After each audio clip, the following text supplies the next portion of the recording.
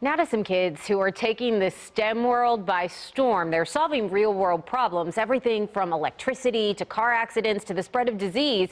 And now 60 of them have their patent pending certificates.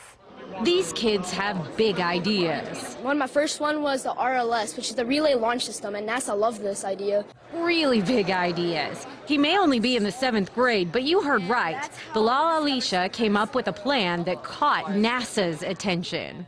Instead of using a rocket to send supplies to the ISS or space colonies, mm, we can use a series of cannons, and these cannons send pods to the uh, space colonies and the ISS.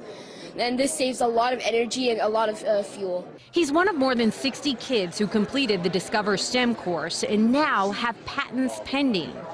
We are trying to train these kids to think outside of the box. We are going to train them what is box and what is outside of the box. Mursa Fazan founded the program in 2016 with just five kids.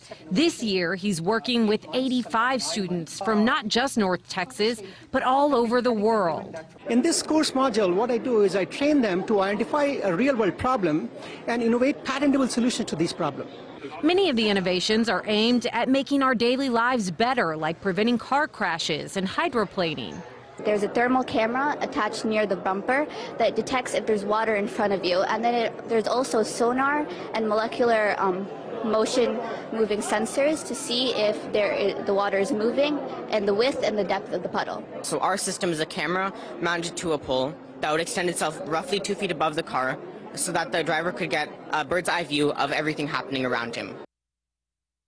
These students will put a lot of us adults to shame. More than 54 students have won international innovation competitions conducted by NASA and other prestigious organizations, and several of them have landed at Harvard, Stanford, Duke, MIT, just to name a few.